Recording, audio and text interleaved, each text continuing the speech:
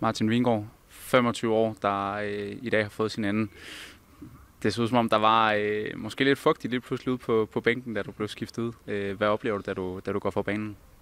Ja, altså vil jeg sige, øh, hele dagen har jo været sådan lidt en øh, forberedelse til, at vi skulle ud og spille kamp. Og, og når man er i spillet, jamen, så kører man på adrenalinet. Og, men øh, jeg vil sige, da, da jeg så nummeret op på, på tavlen til sidst, og jeg fik lov til at, at få den, uh, de sidste 20 sekunders hyldest af, af, af stadion her, det er jeg sindssygt taknemmelig for.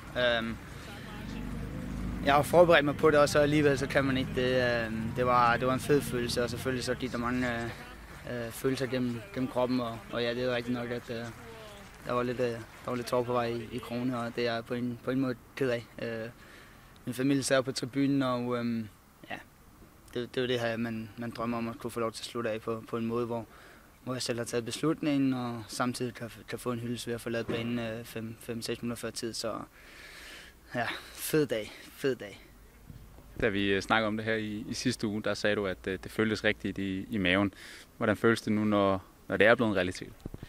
Ja, men lige nu, der, der føles det stadigvæk rigtigt, hvis man kan sige det sådan. Altså, jeg, har, jeg har nydt det, øh, selvfølgelig hele min rejse. Øh, der, der kommer nok en reaktion her, når det, er, det, det hele det, det falder lidt til ro.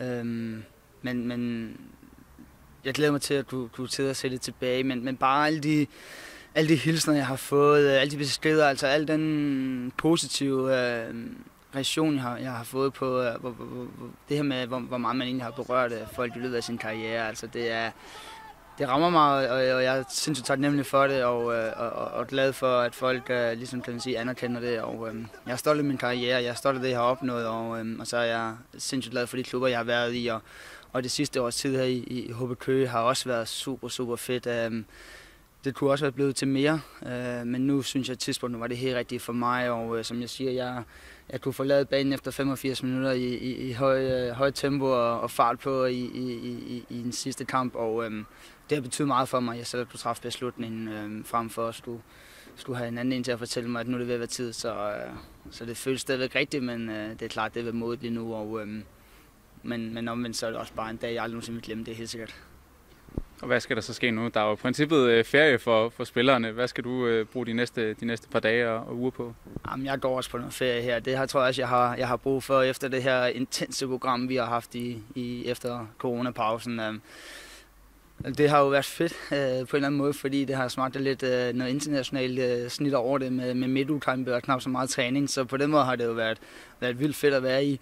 Så, så, så, men omvendt, så, øh, så tror jeg også lige, at jeg trækker til at lige at trække stikket lidt, og så, øh, så skal jeg nok melde ud inden så længe, hvad, hvad fremtiden den byder på. Men uh, lige nu her, det er også en af grundene til, at jeg ikke har, har meldt noget ud. Det er egentlig fordi, jeg vil nyde øjeblikket, og jeg vil have lov til at nyde min, min tid her i, i klubben, og, og, og nyde min, min sidste dag her, uden at fokus på alt muligt andet. Så, uh, og det har jeg gjort. Uh, det har været en, en kæmpe fornøjelse, og jeg er taknemmelig for, for det banner, som, som, som fansen smider op, og i og med, at jeg som jeg sagt, jeg kun har været her et år, men, men klubben vil helt sikkert betyde noget for mig, og, og de mennesker, som, som er omkring klubben, øhm, jeg føler mig velkommen lige fra dag et, og, øh, og det, der skal være en stor tak til alle i omkring klubben, for det har virkelig været, øh, det har været fedt over for mig, og, øh, og jeg er glad for, at vi ikke stod her i sidste kamp og skulle ud og spille om øh, et eller andet øh, nedrykningsdrama, at vi, at vi klarede det i Nykøbing-kampen, øh, og øh, på en eller anden måde var det ligesom kombinationen for mig på øh, det, som, som det her forår, der handlede om personligt for mig, det er netop at, at sikre mig, at jeg kunne, øh, at jeg kunne være med til at aflevere klubben i første division, hvor jeg i den grad synes, den hører hjemme øh, de næste par år, så, så er jeg helt sikker på, at fremtiden ser lys ud for, for klubben, fordi at, jeg synes, der er gang noget fedt og noget spændende hernede. Og,